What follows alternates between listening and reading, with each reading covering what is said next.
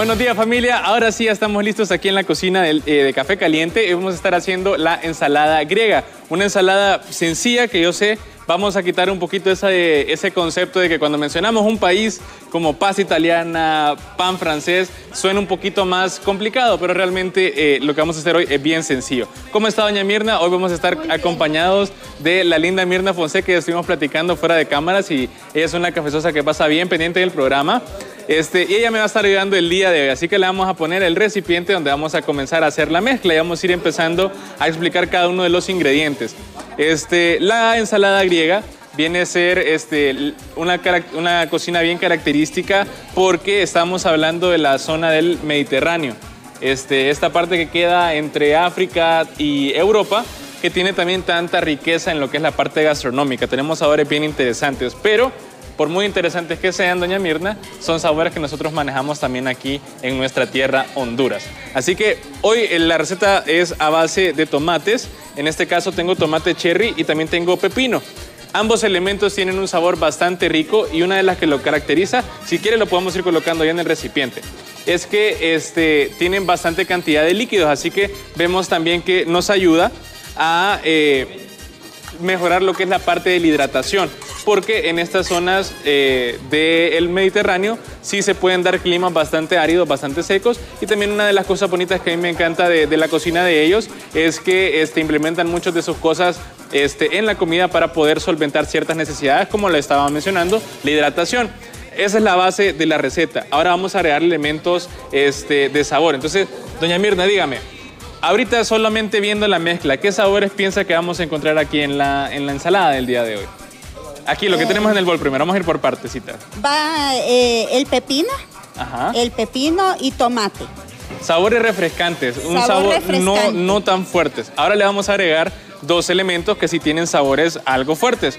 Tengo cebolla morada y también tengo chile este, morrón, chile dulce.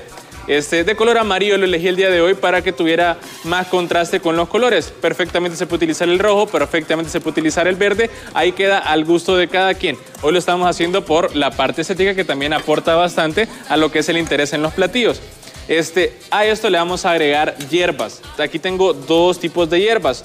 Una, le preguntaba a doña Mirna si la conocía y estoy hablando del eneldo. Miren, este es el eneldo. Parece, podríamos decir que es como el, pinito, el, el pino que tiene la hoja fina, nada más que es un poquito más suave. Pero el aroma y el sabor son bien peculiares, son bien refrescantes. Qué rico.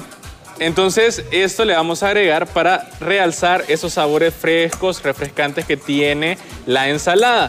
Esto obviamente en nuestro territorio va a quedar súper bien cuando el clima está bien caluroso, porque no solamente nos va eh, dar ese sabor refrescante, sino también que la hidratación que les había mencionado va a ser algo bien importante. Hablando de refrescantes, aquí también tengo hojitas. Estas hojitas sí me dijo doña Mirna que las conocía. ¿Qué son?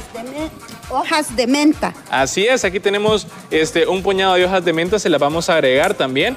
Este, y otro elemento que aquí va a poder, eh, muchas personas se van a poner un poquito quisquillosas, va a ser aceitunas.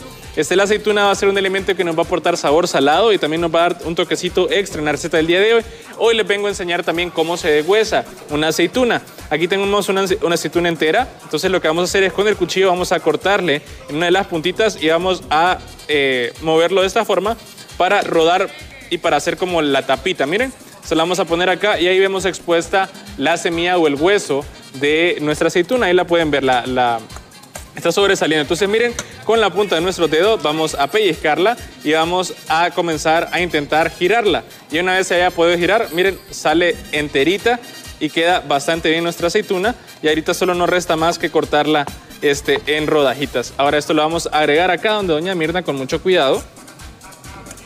Ella lo va a seguir mezclando y le vamos a agregar también este, lo que es un diente de ajo para realzar los sabores. El ajo ya es un saborcito un poquito más fuerte, así que siempre vamos a medir una cucharadita la, la- la cantidad de este.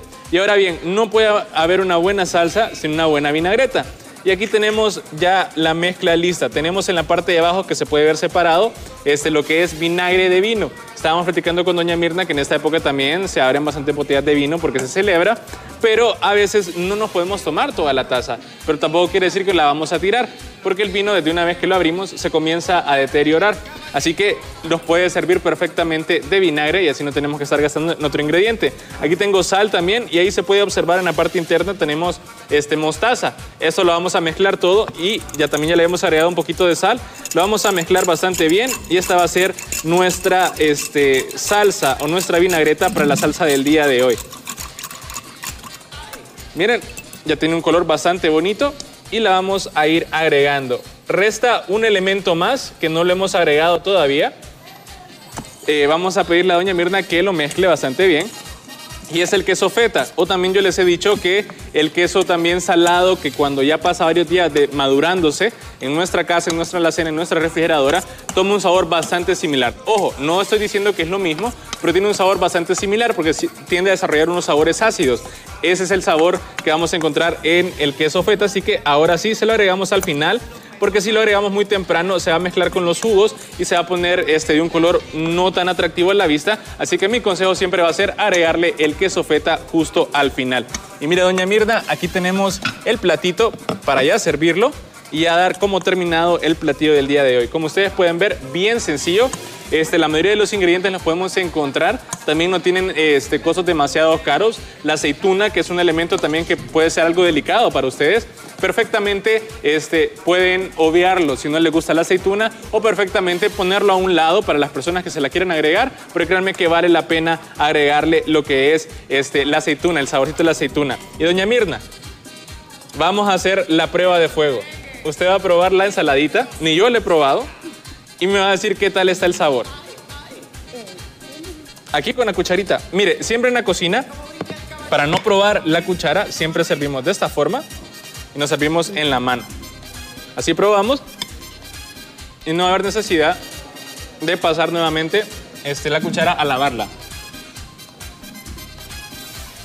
Deliciosa algo bien sencillo, algo diferente y también las, ensaladas es un punto que muchas veces muy riquísima. No sabemos qué hacer para esta fecha, así que una ensalada diría, créeme que quedaría excelente para su cena navideña o para alguna reunión entre familiares. Así que aquí yo me quedo con la linda de Mirna, vamos a terminar ya de emplatar y vamos a repartir también con los demás clientes que nos están acompañando el día de hoy para que puedan probar la deliciosa ensalada griega. Así que no nos cambien porque también Carlos tiene mucha información importante para todos ustedes, así que vamos a ir con él rápidamente para que nos comente qué tiene bueno en esta mañana.